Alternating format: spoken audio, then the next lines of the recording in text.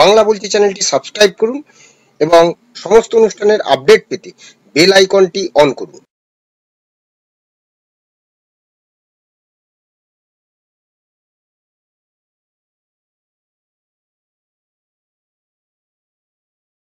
নমস্কার, বাংলা বলছি চ্যানেলে আপনাদের স্বাগত, আমি বিপ্লব দাস বলছি। প্রায় চোদ্দ দিন পর মুখ্যমন্ত্রী তিনি তার বক্তব্য পেশ করলেন।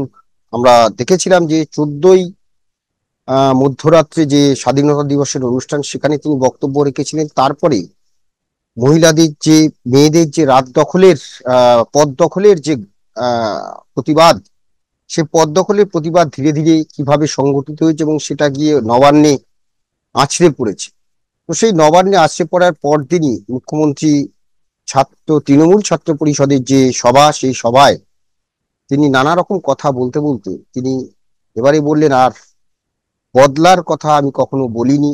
বদল চেয়েছিলাম, বদলা নয়, বদল চাই। রবীন্দ্রসঙ্গীত শুনিয়েছিলেন মুখ্যমন্ত্রী দু হাজার এগারো সালে। কিন্তু দু হাজার চব্বিশ অর্থাৎ তেরো বছর ক্ষমতায় থাকার পরে আমরা তার মুখে সরাসরি না হলেও তিনি যে বিষয়টি বলেছেন ফোর্স করতে বলেছেন তার কর্মীদের। অর্থাৎ এই যে কণ্ঠস্বর, যে জনগণের কণ্ঠস্বর বা বিরোধীদের কণ্ঠস্বর তাদের প্রতিরোধ করতে, প্রতিবাদকে প্রতিরোধ করতে ফোর্স করতে বলেছেন। কি বলেছেন একবার শুনে নি আমাকে অনেক গালাগালি দিয়েছেন, অনেক অসম্মান করেছেন। আমি অনেক ভেবেছি, কিন্তু আমি ভেবে দেখলাম যে এদের বিরুদ্ধে আমি কোনোদিনও বদলা নিইনি। আমরা বলেছিলাম, বদল চাই, বদলা নয়। আজ বলছি ও কথা নয়। আজ বলছি যেটা করার দরকার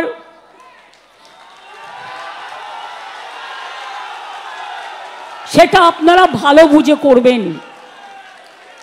আমি অশান্তি চাই না। কিন্তু উৎসব প্রচার চক্রান্ত করে যে আপনাকে রোজ কামড়াচ্ছে, আপনি তাকে কামড়াবেন না, কিন্তু ফস্ত করতে পারেন। রামকৃষ্ণ পরমহংসদেব বলেছিলেন, একটা গোখরে সাপ তার কাছে গিয়ে বলেছিল ঠাকুর, তুমি তো আমাকে কামড়াতে বারণ করেছ। আমি কাউকে কামড়াই না, কিন্তু আমাকে অনেকে ইট মারে, আমার রক্ত পড়ে, আমার খুব কষ্ট হয়। ঠাকুর বললেন, শোনো, তোমাকে আমি কামড়াতে বারণ করেছি, তোমাকে আমি ফোস করতে বারণ করিনি। আগামী দিন আপনাদের কাজ হচ্ছে চক্রান্তকারীদের মুখোশ খুলে দিয়ে ফোঁস করতে শিখুন, ফোস করতে শিখুন, ফাঁস করে দিন। শুনলাম মুখ্যমন্ত্রী কি বললেন? এই ফোঁস করার মধ্য দিয়ে কি উস্কানি ছিল?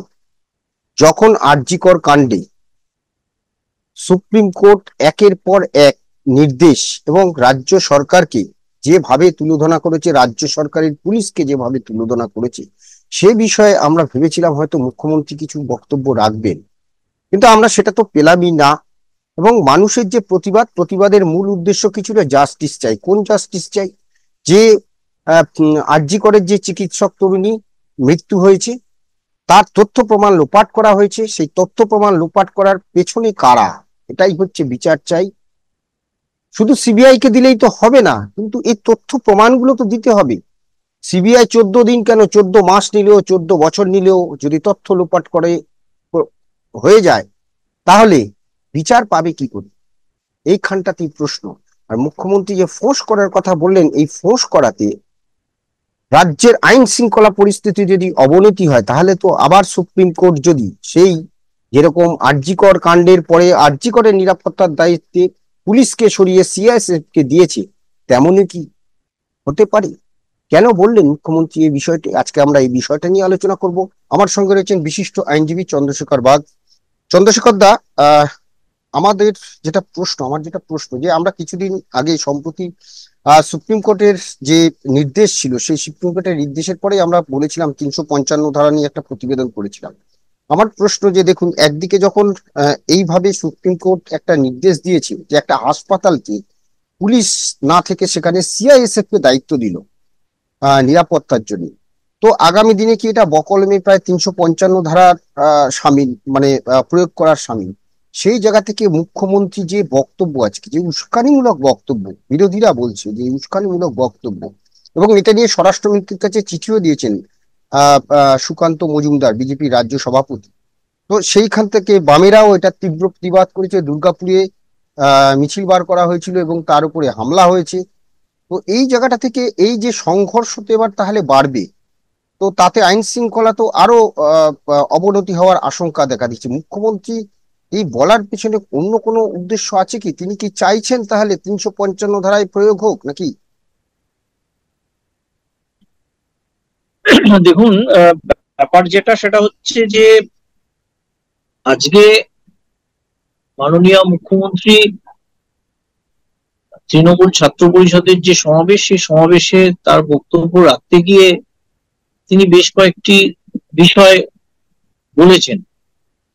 এবং যেটা আমার, তার বক্তব্য শোনার সময় যেটা মনে হচ্ছিল যে, এই যে একটা গণ আন্দোলন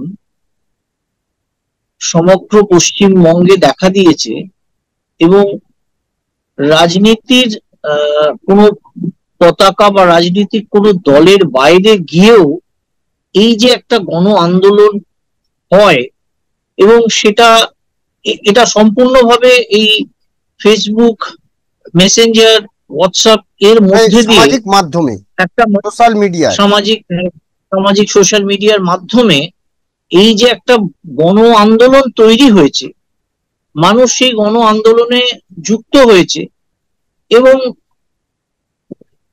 সেটা এই চোদ্দ তারিখের রাত্রির থেকে শুরু হয়েছে এবং পরপর পরপর সেই চলে যাচ্ছে এবং গতকাল নবান্ন অভিযান এই নবান্ন অভিযান আটকানোর জন্য রাজ্য সরকারের তরফে সুপ্রিম কোর্ট কলকাতা হাইকোর্টে চেষ্টা করা হয়েছে কিন্তু তার সত্ত্বেও কালকের আন্দোলন হয়েছে আমরা দেখতে পেয়েছি। এবং যেভাবে এই ঝড় জল বৃষ্টির মধ্যে মানুষ যেভাবে নেমেছে এটা মানে মাননীয় মুখ্যমন্ত্রীর কাছে অ্যাকসেপ্টেড একটা প্রপোজিশন নয় আর কি। উনি কখনো আশা করেননি কোনো দলের বাইরে গিয়ে এই জাতীয় আন্দোলনের একটা দানা বাঁধতে পারে সেটা ওনার ধারণার বাইরে।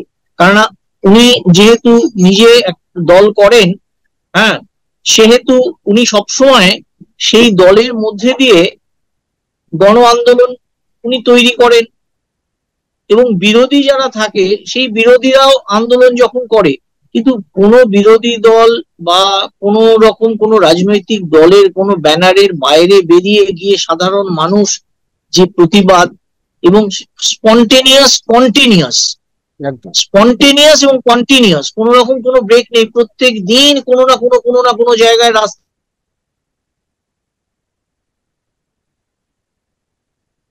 এবং এটা কিন্তু সুপ্রিম কোর্টের অর্ডারের মধ্যে রয়েছে। যার ফলে যার ফলে যে আহ, এই আন্দোলনটা উনি নিজে এখন বুঝতে পারছেন যে এই আন্দোলনকে সামাল দেওয়ার জন্যে মানে সেই আর একটা আন্দোলন করার দরকার। আর একটা মানুষকে পথে নামাতে হবে তার দলের মানুষদের পথে নামাতে হবে। সেই জন্য উনি আজকে এই কথাটা বলেছেন শ্রীরামকৃষ্ণের কথা বলে বলেছেন যে আহ, শুধু এমনি করলে হবে না একটু ফোঁস করতে হবে। হুম হুম ফোঁস উনি ওনার যারা, ওনার যারা অনুগামী, ওনার যারা দলের ছাত্র, যুব যারা রয়েছে, তাদেরকে সেই কথাটা উনি, এই বার্তাটা মেসেজটা দিয়েছেন যে আমরা চুপ করে, এই যে গণ আন্দোলন হচ্ছে, আমরা চুপ করে বসে থাকব না।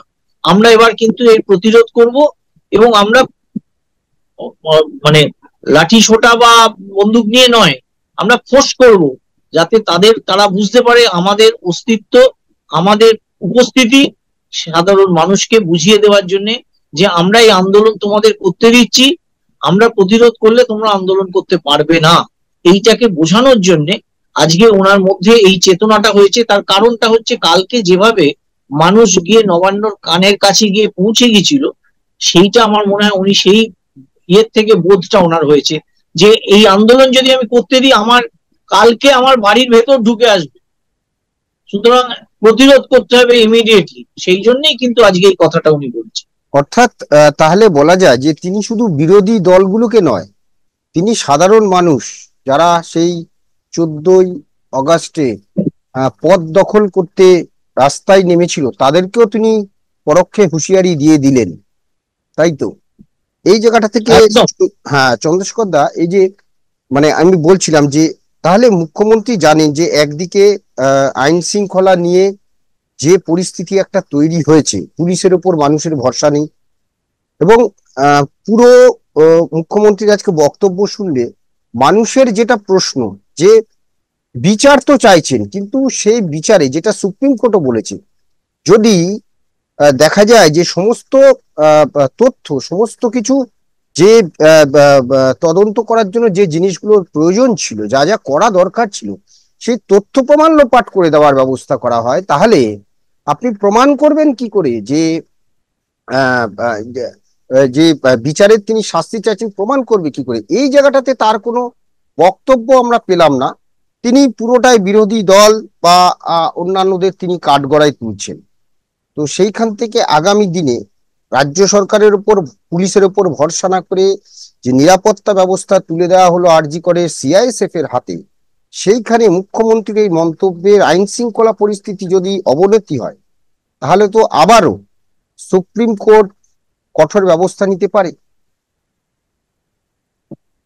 দেখুন, ব্যাপার হচ্ছে যে সুপ্রিম কোর্ট একটা জিনিস মানুষের কাছে এই মেসেজটা পৌঁছে দিয়েছে যে একটা ছোট্ট হাসপাতাল, সেখানের আইন শৃঙ্খলা রাজ্য সরকার ল অ্যান্ড অর্ডার বা আইন শৃঙ্খলাটা হচ্ছে স্টেট সাবজেক্ট। আজকে সেটা তারা একটা হাসপাতালের ক্ষেত্রে ফেলিওর আগামী দিন যদি এই জিনিস চলতে থাকে এবং আজকে মাননীয় মুখ্যমন্ত্রী যে তার দলের অনুগামীদের যে প্রতিরোধের বার্তা দিয়েছে এবং তাতে যদি এই প্রতিরোধ গণ আন্দোলন যেটা হচ্ছে শান্তিপূর্ণ গণ আন্দোলনের সঙ্গে যদি প্রতিরোধ হতে থাকে তাহলে আগামী দিনে সুপ্রিম কোর্টে এই প্রেক্ষিতে ঠিক যেভাবে আর্জি করে সিআইএসএফ ইম্পোজ হয়েছে, হয়তো আগামী দিন আমরা দেখব যে সুপ্রিম কোর্ট বলতে বাধ্য হবে যে পশ্চিমবঙ্গের টোটাল আইন শৃঙ্খলা একদম মানে টোটাল আইন শৃঙ্খলা একদম নেই। যে কারণে সেখানে মানে কেন্দ্রীয় সরকারকে ইন্টারফেয়ার করা করতে হবে এবং কেন্দ্রীয় সরকার তখন তাদের অ্যাজ পার কনস্টিটিউশন সেখানে থ্রি ফিফটি ফাইভ বা থ্রি ফিফটি সিক্স ইম্পোজ করার জন্য as per the report of the governor তারা সেই মতো পদক্ষেপ নেবে। এবং এই জিনিসটা যেটা সেটা হচ্ছে যে যে আন্দোলন যেভাবে হচ্ছে এবং প্রতিরোধ তাকে প্রতিরোধ করার জন্য আজকে মাননীয় মুখ্যমন্ত্রী কিন্তু ফোঁস করার কথা বললেন। এই প্রতিরোধ এবং এই যে শান্তিপূর্ণ আর্যিকরকে কেন্দ্র করে যে আন্দোলন, সাধারণ মানুষ, ডাক্তারদের, সমাজের সমস্ত শ্রেণির মানুষের আগামী কালও একটা প্রতি- প্রতিবাদ মিছিল আছে, মহিলাদের। আগামী কাল কলেজ স্কোয়ার থেকে আবার একটা প্রতিবাদ মিছিল মিছিল আছে, আমি জানি, আমার কাছে, আমার কাছেও গণমাধ্যমে ইয়ে এসছে, সেটা শ্যামবাজার শ্যামবাজার পাঁচমাথার মোড় অব্দি এই যে প্রতিদিন সমাজের বিভিন্ন স্তরের মানুষের যে প্রতিবাদ চলছে, সেই প্রতিবাদটাকে উনি রুখে দিতে চাইছেন, যাতে কোনো রকম সেই প্রতিবাদ মানুষ যাতে না করতে পারে। সেই জন্য ওনার নিজের মনে হয়েছে এবং আজকে ছাত্র এবং যুবদেরকে উনি সেইখানে তাদেরকে লেলিয়ে দিয়েছেন। তাদেরকে বলেছেন যে, তোমরা এবার সামনে রাস্তায় নামো, নেমে এগুলোকে প্রতিরোধ করো। আমি জানি না এটা আগামী দিনে একটা সিভিল ওয়ারের দিকে যাবে কিনা? একদম যেভাবে- যেটা বললেন যে মানে একদিকে পুলিশ প্রশাসন অন্যদিকে কি বলে তার দলের কর্মীরা সমর্থকরা কর্মী সমর্থকরা। এই যদি চলতে থাকে অর্থাৎ দমিয়ে দাও আর দমিয়ে দাও এই জায়গাটাতেই যদি সুপ্রিম কোর্ট কি করবে জানি না কিন্তু আজকে আর একটা গুরুত্বপূর্ণ বিষয় সেটা হচ্ছে যে রাষ্ট্রপতি কিন্তু এই আরজিকর কাণ্ড নিয়ে মন্তব্য করেছেন। এবং এটাও কিন্তু মারাত্মক। অর্থাৎ একদিকে গভর্নর রাষ্ট্রপতির সাথে দেখা করে রিপোর্ট দিয়েছেন, স্বরাষ্ট্রমন্ত্রীকে রিপোর্ট দিয়েছেন, এ রাজ্যের যিনি গভর্নর সিবি আনন্দ বোস, অন্যদিকে রাষ্ট্রপতি আজকে তার প্রতিক্রিয়া জানিয়েছেন যে অনেক হয়েছে, আর না। তো এই জায়গাটা থেকে মানে এবং গভর্নর বলেছেন একটি বেসরকারি সর্বভারতীয় চ্যানেলে গভর্নর এই রাজ্যের তিনশো পঞ্চান্ন বা তিনশো ছাপ্পান্ন রাষ্ট্রপতি শাসন জারি নিয়ে বলেছেন এবং সেখানে তিনি একটা কথা আমরা যেটা প্রতিবেদন করেছিলাম soon as soon as possible মানে এই যে কথাটা বলেছিলেন তো সেটাতে আমাদের আজকে মমতা বন্দ্যোপাধ্যায়ের মন্তব্য তারপরে রাষ্ট্রপতির মন্তব্য এরপরে আগামী পাঁচ সেপ্টেম্বর এই মামলার আবার পরবর্তী শুনানি রয়েছে। তো সেটা ভবিষ্যতে কোন দিকে এগোবে এবং এর মধ্যে মমতা বন্দ্যোপাধ্যায়ের বক্তব্যের পরপরই কিন্তু বেশ একটি যেটা দুর্গাপুরে যে ঘটনাটা ঘটেছে এবং আগামী দিনেও যে মিছিলগুলো সংগঠিত হবে, সেই মিছিল কি শান্তিপূর্ণভাবে হবে? সেদিকেই আমাদের নজর থাকবে এবং এই অশান্তি যদি তৈরি হয়, তাহলে এই অশান্তির দায় কিন্তু মুখ্যমন্ত্রীকেই নিতে হবে। আর সেক্ষেত্রে আবারও সুপ্রিম কোর্ট, আবারও রাষ্ট্রপতি, আবারও রাজভবন কি করে, সেদিকেই আমাদের নজর থাকবে। হ্যাঁ বলুন। এই এক্ষেত্রে আমি একটা কথা শুধু বলব যে দেখুন আহ, আমাদের দেশের মানে রাজ্যের মুখ্যমন্ত্রী আজকে আরজিকরের ঘটনাতে সুপ্রিম কোর্ট যেভাবে পশ্চিমবঙ্গ রাজ্য সরকারকে তিরস্কার করেছে যেভাবে আরজি করে পুলিশ সরিয়ে দিয়ে সিআইএসএফ কে ইম্পোজ করেছে আজকে মুখ্যমন্ত্রীর কাছ থেকে আমরা কোনো বক্তব্য কিন্তু শুনতে পেলাম না। হ্যাঁ আজকে যখন ছাত্র যুবদের উনি বলতে এলেন আজকে এই কথার কোনো বক্তব্য উনি রাখলেন না। উনি বক্তব্য কোনো রাখলেন না কেন ওখানে ওই যে যেখানে দুর্ঘটনা ঘটেছে তার পাশে কেন সেই ঘর সমস্ত ভেঙে দেওয়ার জন্য কে নির্দেশ দিয়েছে? উল্টে আমরা কি দেখতে পাচ্ছি যারা এই ধর্ষণ কাণ্ডের সঙ্গে যুক্ত আছে তাদের প্রোটেকশন দেওয়ার জন্য সুপ্রিম কোর্টে বড় আইনজীবীদের নিয়োগ করেছেন রাজ্যের তরফ থেকে। তার মানে যেটা, সেটা হচ্ছে যে, এবং আজকে এই যে গণ আন্দোলন, সেই গণ আন্দোলনকে এবার প্রতিরোধ করতে হবে। তার মানে রাজ্যে কি হচ্ছে রাজ্যের কেন্দ্রের কাছে বা সুপ্রিম কোর্টে যেভাবে তিরস্কৃত, সেই নিয়ে রাজ্যের মুখ্যমন্ত্রী কিন্তু বিচলিত নন। উনি বিচলিত, সাধারণ মানুষ রাস্তায় নেমে পড়েছে এবং মানুষের একটাই স্বর, ওনার বিরুদ্ধে। উনি সেটা বুঝতে পেরেছেন। এবং সেই কারণে সেই সেই কণ্ঠটা রোধ করতে হবে। তাই জন্য উনি আজকে ওনার যে ছাত্র যারা, যুব ছাত্র যারা রয়েছে, তাদেরকে পথে নেমে তার প্রতিরোধ করার জন্য আজকে উনি তাদের চালিত করতে চান, যাতে এই যে গণ আন্দোলন সাধারণ মানুষের যে উই ওয়ান্ট জাস্টিস আমরা যে বিচার চাই, সেইটা যাতে কোনো রকম তার আর সেই তার কণ্ঠ যাতে বন্ধ করে দেওয়া যায়, এইটাই তার অ্যাকচুয়ালি মূল উদ্দেশ্য। একদম একদম।